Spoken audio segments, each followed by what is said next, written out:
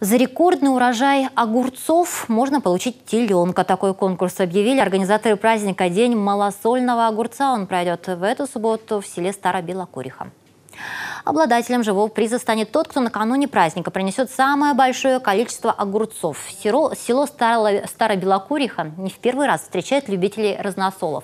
В этот раз сельчане обещают, столы будут ломиться от десятков различных блюд. Будут угощать огуречным вареньем, повидлом и оладьями. Можно будет попробовать огуречную наливку. Также в программе праздника огуречный салон красоты, мастер-классы по заготовке разносолов и гадание на огурцах.